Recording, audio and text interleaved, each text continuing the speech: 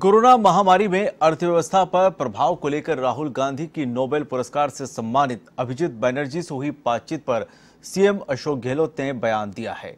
CM Gehlot ने कहा है कि दोनों में हुई बातचीत और इसका आर्थिक प्रभाव न केवल वर्तमान चुनौतियों पर चर्चा करना है, बल्कि समाधान खोजने का एक सार्थक तरीका भी है। उनका विशेषज्ञों से बातचीत करना भारत को वर्तमान कोरोना संकट से बाहर निकालने में उपचार की तलाश करने जैसा है। गहलोत ने कहा कि राहुल और अभिजीत बैनर्जी की चर्चा में हमें वर्तमान संकट से निपटने के लिए कुछ उपयोगी जानकारी मिली है। इसमें अस्थायी राशन कार्ड के सुझाव, लॉकडाउन के बारे में निर्णय लेने के लिए आर्थिक गतिविधि शुरू करना और गरीबों के पैसे हस्तांतरित करने के कार्यक्रम के लिए एक बड़े पैकेज की आवश्यकता पर ज़ोर दिया है।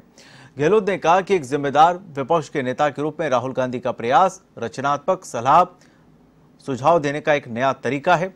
ये लोगों के लिए बेहद अच्छा है। यह संवाद हमारे लोकतंत्र को मज़बूत करता है।